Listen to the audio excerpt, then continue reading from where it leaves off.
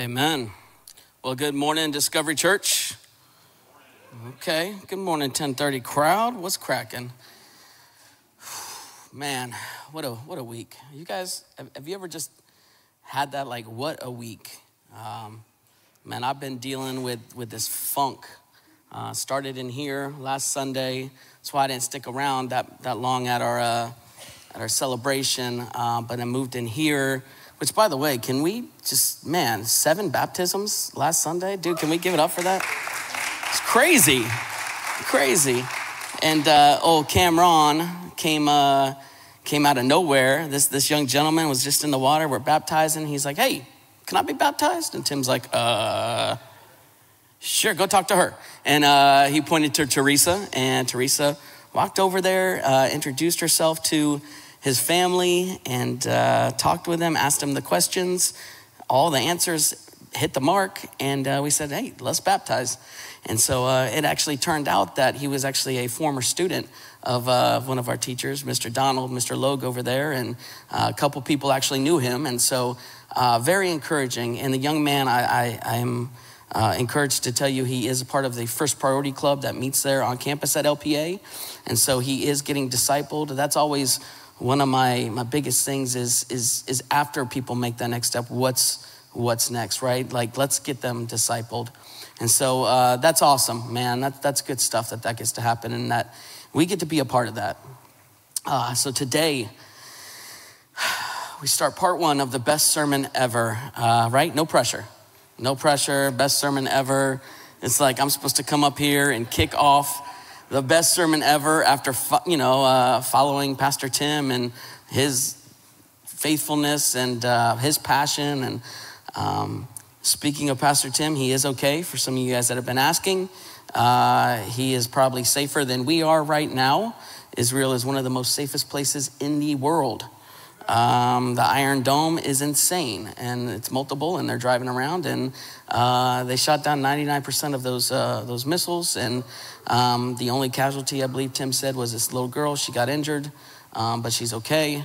Business as usual back in Israel. So uh, you know, feel free, keep praying for him. Um, we're praying for you know safe travel as he comes home. We want to know what that looks like with the airlines opening up, but we uh, we're, we're our faith is in Jesus. Amen. And uh, if, if Pastor Tim, God forbid, doesn't make it back, we will not have church next Sunday. Because um, there's no way I want to do what he does. Um, I'm okay. I told the nine, nine o'clock, I'm okay being like the, the number two guy or the number three or the number five. I'll be number 59. I don't care. Uh, I'm more of a, hey, let me help you hold this staff instead of here, hold the staff. Uh, I'm, I'm, I'm a great wingman. Um, I just, I, this week, dealing with this, this sickness, like it was bedridden, deliberating, and having to lead not just the student ministry, the kids ministry, but the rest of this church. Um, let me tell you what, uh, pray for Pastor Tim, because I don't know how he does it. He, he not only leads this church, but he is also in, in, in I guess, responsible for 66 other pastors within our Treasure Coast Baptist Association. So different 66 different churches who he encourages their pastor and pours into them. So he's not just pouring in here, he's pouring in there and then at home. And, uh, you know, I, I acknowledged uh, them at the, the, first service, but I want to acknowledge them again. Um, be praying for, for, for Audra and the girls and them as a family because let me tell you, there's a lot of sacrifices that, that goes through that family that Pastor Tim will never tell you about. Um, and he does it for you to meet you where you're at. Um, after hours, so many, so many times. And he doesn't tell you because he doesn't want you to feel like it's a burden. Um, as a pastor, that's what his role is. As the lead pastor, that's what his role is. And he gladly does it. But I'll tell you, there is a cost and there is time that's missed. And so when he's meeting with you, know that it's because he cares about you and uh, he really does want to see you become a fully devoted follower of Jesus. It's kind of an awesome treat to have Corey up here. I served with Corey uh, when I first came to Discovery. Corey was um, was on staff as well, not on staff, volunteer, but he was our worship leader and uh, joined in the student ministry with him. Uh, if it wasn't for him, I would have probably been fired like 15 times uh, early on because, you know, six months into giving my life to Christ, I'm leading a student ministry. I did not like student ministries. Like when I was 15, they were the reason these, these, these jerks, if you will, they were the reason that I wanted nothing to do with Jesus, right? We talk about salt and light. They were salty, not salt okay? It, it was a turnoff. And it took till I was 30 years old to see that light in somebody to finally realize that that's what it is to be a follower of Jesus. And so, uh, man, I was just so so blessed to serve alongside of him for so many years and uh, have him as as a mentor, if you will, even though he's younger than me. Uh, when it comes to in the faith, that doesn't matter okay? It doesn't matter because I'm looking around and I see some 60 year, year, 60 year olds that are still sucking on a bottle in here. So it doesn't matter the age, right? Shots fired. It's going to get real today. Don't worry. Um, but here's the deal. Here's the deal. I was so blessed to have somebody who was a little further than me showing me what it looked like to walk with the Lord. And he took the time and he truly was a light and so my prayer is that, that when we leave here today, we have a better understanding of what that looks like and what that can be. So um, you heard Pastor Tim read our, our, our verses today. We are in, um, we just finished the Beatitudes up. So where Pastor Tim was standing, that's the where Jesus would have given his message. He would have been looking out at the Sea of Galilee with everybody looking up at him. The reason he chose that spot is because of the acoustics. And so it carried his voice. So as he spoke, his voice carried and he was able to address the crowds, right? And at this time, there was a whole mass of people following him.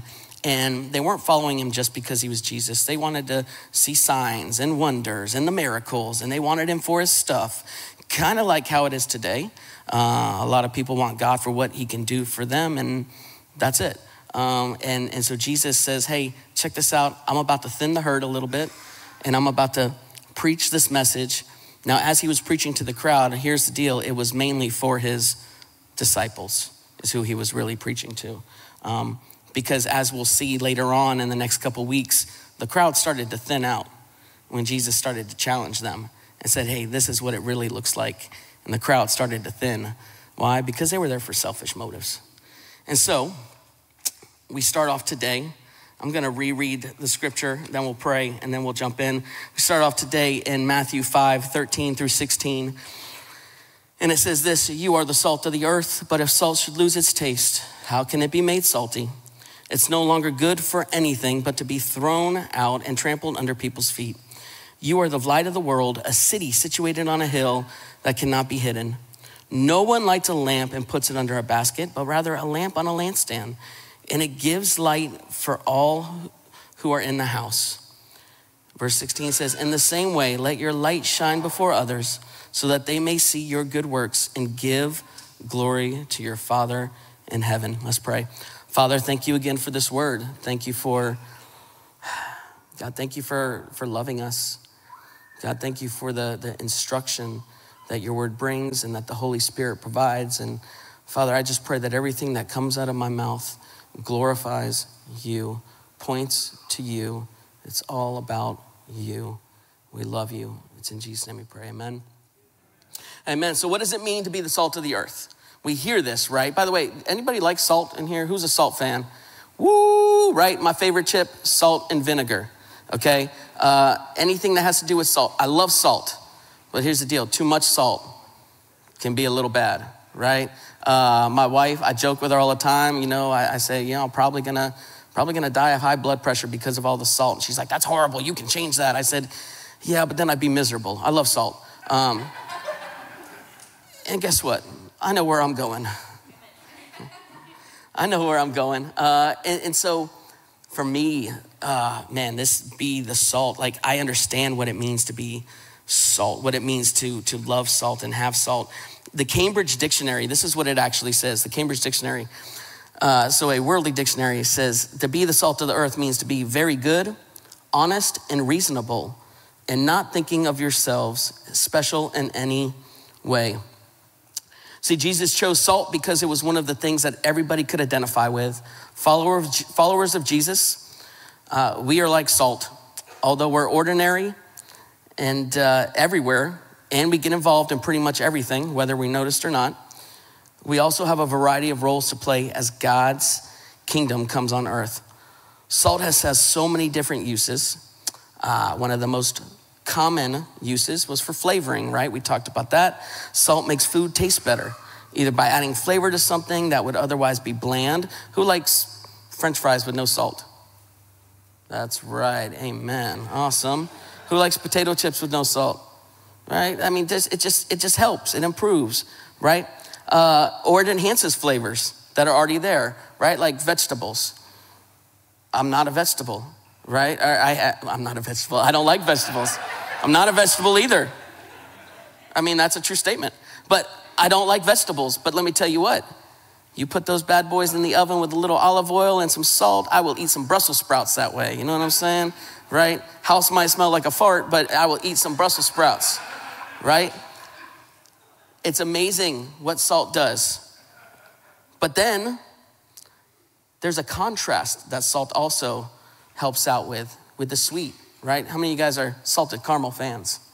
Woo, come on, somebody. You can tell I like me some salted caramel, right?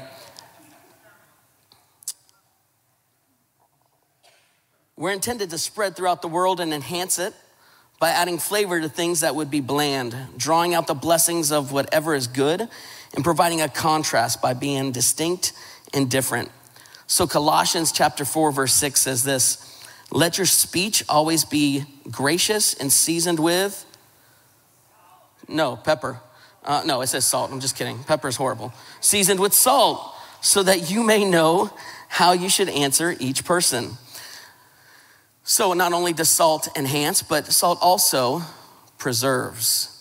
Um, salt was an ancient equivalent of the refrigeration system back in the day. If you wanted to stop meat or fish from decaying, you would rub salt in it and make it edible for longer. This was the main reason salt was so valuable. Matter of fact, Roman soldiers were also sometimes paid in salt. It was called a salary. That's actually where the word salary comes from, was a Roman's wages in salt. Um, as disciples of Jesus, in this sense, we are sent into the world to keep it from decay, preserving it, its goodness, and preventing it from becoming corrupt or ruined, which is a helpful thing to bear in mind as we go to work every day.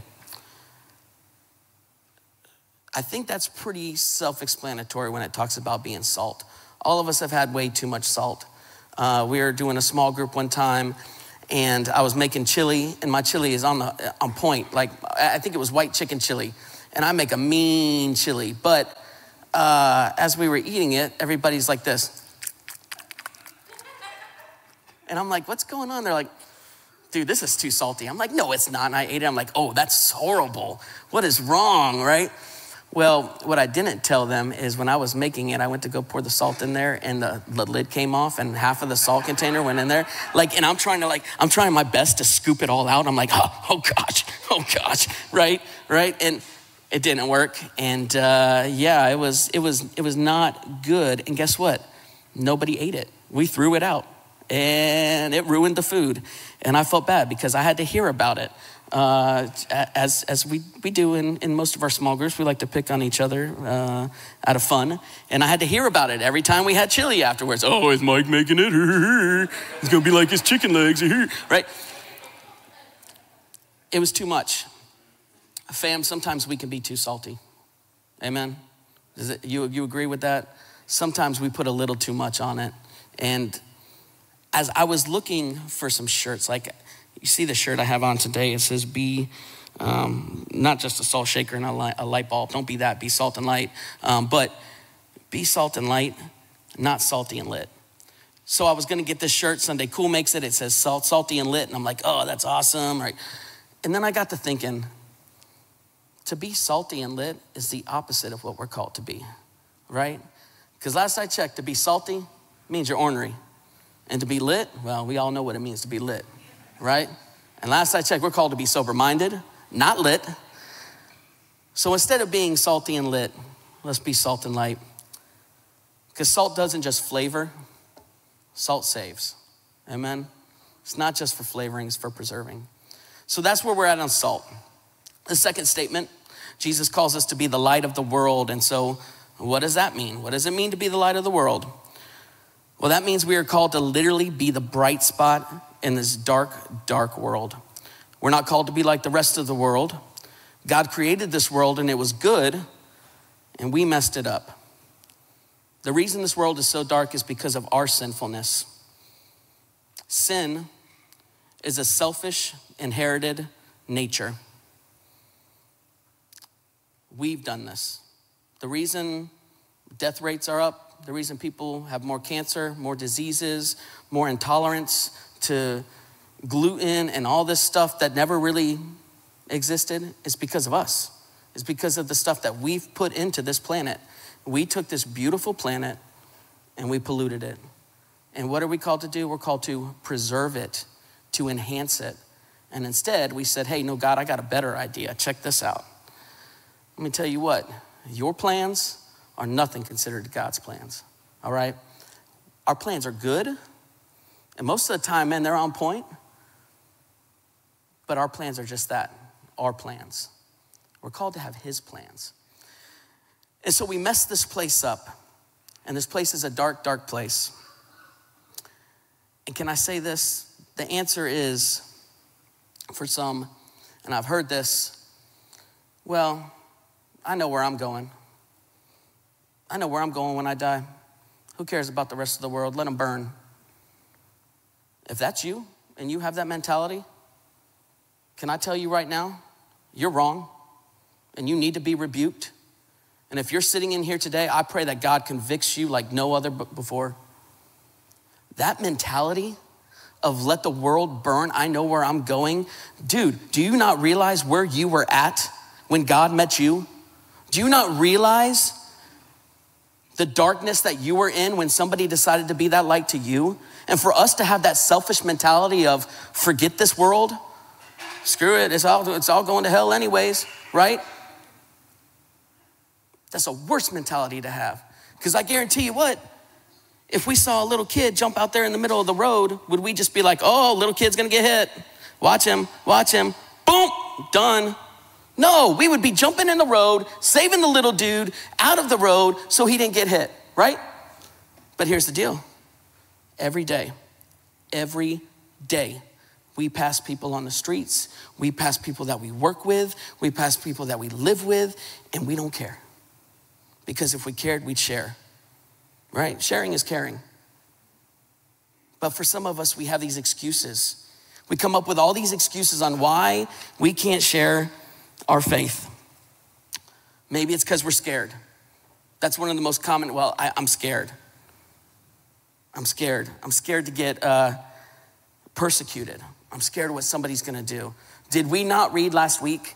Blessed are those who are persecuted for me, right? When you're out sharing your faith, who cares what comes against you?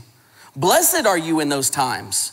There's countries right now that you can't mention the name of Jesus without being arrested and possibly murdered. Jesus, Yahweh, can't even mention it. And we're scared of what people are gonna think. You know why we're scared of what people are gonna think? Because we have a fear of man rather than fear of the Lord. We're scared of what our neighbor is gonna think about us rather than what God has called us to. Church, do not be scared. Be strong, be courageous. Every one of the apostles that was in that upper room 51 days later, when Pentecost happened and the Holy Spirit came upon them, every one of them discipled. They walked out of that room bold. And guess what? It wasn't just like they were walking into the streets and there was a whole parade and everybody loved Jesus. They were looking for people who were talking about Jesus. They were, they were, they were persecuting them. They were putting them to death. And these guys walked out of there and said, hey, we got this. Why? Because we've been given the Holy Spirit. We've been given the comforter. We've been given the guide. And that's who we're gonna be. That's who we're gonna follow. That's who we're gonna be led by. You walk out of there by yourself, of course you're gonna be scared. You ever wonder how, like, you go somewhere, it's easier when you have a buddy with you. You feel more comfortable when you have a buddy with you going somewhere, especially somewhere new versus by yourself. But a lot of us stifle the Holy Spirit. We're scared. We have excuses. Maybe we don't feel worthy. Can I tell you, church? I still don't feel worthy. I don't feel worthy to be up here in front of you bringing you this word. I don't. But it's not about what I feel. I'm not ruled by feelings and emotions. Because you know, know what? My identity is not found in me. My identity is found in Christ and who Christ sees me as. And he calls me beloved. He calls me by name. The same creator that knows every, every grain of sand in the Sahara Desert knows me by name, knows you by name. You're worthy. You are worthy because he made you worthy. Third thing, maybe we don't know what to say and we don't want to mess it up. You want to know why you don't know what to say? It's because you haven't spent enough time with the Master. You haven't spent enough time with the Father. He will show you what to say, He will guide you what to say. He will bring people in your path who need to hear this message. I don't know what to say most times either. So, you know what I tell them? Man, Jesus loves you. God loves you. He has a plan for you. And his plan is not for you to spend eternity separated from him. It's not hard to share the gospel. But for some reason, we have a hard time doing it. Where you're sitting at right now, I want you to think when's the last time you shared the, your faith with somebody? And I don't say that to, to condemn you. I say that at a leading of the Holy Spirit to, to hopefully usher in some conviction. When was the last time you shared your faith with somebody? Because there's a, there's a huge line of people steady going to hell, steady spending eternity separated from the Father. Why? Because someone was scared? Because someone didn't know what to say? Ask him. Scripture says if you need wisdom, ask. All you do is simply ask. But here's the deal prayer is the last resort instead of the first priority. So no matter, no wonder we don't know what to say. We're relying on our own power, on our own leading, instead of the leading of the Holy Spirit. Here's what I think it really is I think it's spiritual immaturity. That's what I think it is. I think what happens is we have an amazing experience with the Lord. We give our lives to Christ. We get baptized. And then we come in here Sunday after Sunday and just sit and consume and suck up air and take a spot and never take a next step. We become these fat, bloated Christians, never giving, always getting. We as Americans have treated this church like a prostitute. What can I get out of it? Let me tell you what the church is not a prostitute, the church is the bride of Christ. Look around, look around. This is the church. We are the church. We are not called to simply stand by and sit and be passively content and comfortable in our seats. This is where we come to be encouraged, to be equipped, to go out and to share our faith. This is where we come to learn how to feed ourselves, not constantly get fed by the pastor. Because here's what that looks like. If, I, if, if my son, who is about to turn 11, who just turned 11, sorry, if my son is 11, is, is in here, and I'm sitting here holding him in my arms, feeding him with a bottle, how weird does that look? So then, why is it acceptable for us to come in here Sunday after Sunday with our mouths open, expecting Pastor Tim to baby bird us? That's what we're expecting. No, no, I don't even want to chew it, Pastor Tim. Chew it up for me and spit it in my mouth. Right? That's what we do.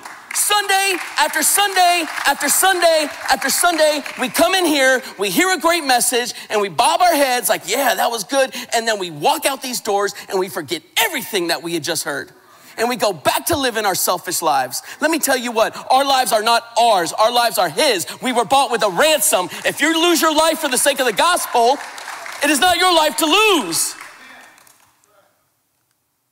Yeah, you're weak. Guess what? It's in our weakness that He's made strong. Amen? I'm so tired of seeing the world act like better Christians than the church. I'm so tired of people knowing what the church stands against and rather what the church stands for. We have become complacent, we have become lukewarm, and no wonder God took his hand off the United States. No wonder he removed his lampstand. Because let me tell you, church, we got a lot of ground to make up. This is a dark, dark, dark world. But can I encourage you with this? Because it's so dark, your light gets to shine brighter. Your light gets to be magnified. And it's because of Him, not because of you, not because of me, but because of Him. So, what are we gonna do? Are we gonna stay content? Are we gonna stay comfortable in our own little pod? Ready for Pastor Tim to chew up another steak and spit it in our mouths? Or are we finally gonna pick up some a fork and a knife and start cutting our own meat? Start feeding our own selves because let me tell you what, if the only time you ever eat is on Sunday morning, you are hungry the rest of the week. And matter of fact, you ain't just hungry, you're hangry. And that's the reason nobody wants to come to your church, is because you don't look like a Christ follower during the week because you eat one time on a Sunday morning. How dare we ask God to show up in our lives when we don't show up where He's at? But God, his grace is sufficient. It's His love. It's not Pastor Mike's measuring stick, it's God's. And let me tell you what, He loves each and every one of us, and He has a plan. And His plan is not for us to sit comfortably in these blue, gray, black, tan seats but to get off of our butts, leave these four walls, and to lead people to be fully devoted followers of Jesus, preaching the gospel everywhere we go, not just here, but to the ends of the earth. Jesus says, Love God with everything you have and then love your neighbor. You wanna know why the reason we don't share the gospel with our neighbor? Because we don't love them. It's because we don't love God with everything we have. We've never experienced it yet. We, we've gotten a little taste for some of us. For the rest of us, we've experienced it and we've gone stale. We've become lukewarm. And Jesus says, I will spit you out of my mouth, for you are neither hot nor cold. It's time to wake up, church. It's time to take the basket off of your lamp. It's time to be the lighthouse to all those ships out in the harbor that are about to wreck. Turn the light on. Be the light. Be the salt. Be an encouragement. Use your words to build up, not to break down. Church, you want your friends and family to know Jesus? Show them what he looks like. God is using every, every one of us. He wants to use every one of us to share his word. Don't you think God could appear right here, to, right now, today, and everyone would believe because they saw? But what did he say? Faith is believing without seeing. But let me encourage you with this every time that you choose to let your light shine, you are showing you are showing Jesus in flesh. All authority has been given to him. And don't you know, he said, Hey, and as my representatives on this planet, as my people, don't you think I want you to do that? Can I encourage you to wake up? It's time to wake up. We've been asleep for far too long, church. People need to see that there is love found in the Lord, not wrath, love. God never sent not one person to hell. He gave us the opportunity to choose. And for a lot of us, we don't care what our family and friends choose. Because if we did, we'd be more vocal. And so, my challenge for you today, my encouragement for you today is what does that look like in your life? What are your excuses for not sharing the word? What are your excuses for not praying with somebody? Because let me tell you what, if anybody had a good excuse, it was Jesus. And he didn't make no excuses. You know what he said? Father, forgive them, for they know not what they do. It's finished. Let's pray. Father, we thank you for your word. We thank you for your grace and your mercy, for without it, we would be lost. We would be a ship without a sail, lost at sea, in the dark, stumbling around, crashing into rocks. But thank you for your son who didn't have to didn't have to go to the cross, Lord. Matter of fact, he even asked you, Father, if there's any other way for this to pass. Lord, this was the only way. Thank you for him. Father, I know that there's maybe some in here today that maybe they've never had a relationship with you and they're wondering how do they how do they get this freedom? How do they receive this free gift of salvation? Well, if that's you in here today, as people are praying, let me just encourage you. Scripture says, confess with your mouth, but believe in your heart that Jesus is who he says he is, that he did for you what you could never do for yourself. And so, for that's you today, and, and you're wondering, how do I do this? Listen, I'm gonna lead you in this prayer, but it's the belief in your heart that also needs to take place. And so, it can be something like this Dear Jesus, I admit I'm a sinner. I believe what you did on the cross for me so many years ago. I believe you took my place. I believe you took my sin and gave me a new life, bringing forgiveness. Jesus, I confess you as my Lord and Savior today, and I've promised to follow you the rest of my life. Not sit by, Lord, but follow you step for step. And so thank you, Jesus, for saving me. Maybe there's some in here today that have just grown stagnant, they've gone stale, and they're wondering, Lord, what are my, what are my next steps? Father, I pray that they they have the boldness and the courage, one, to ask you what their next steps are, but to two, come seek us out. Come seek out myself or Pastor Zach or Pastor Corey in the back. And Father, help us to take them next steps. Help us to lead them to be fully devoted followers of you. Father, your plan for us isn't to just stay lost. Your plan for us isn't to stay dark. You've called us to be a light on a hill, shining so all can see. And so help us. Help us to shine that light. Help us to get out of our own way and truly live for you. Father, we love you and we thank you. It's in Jesus' name we pray. Amen.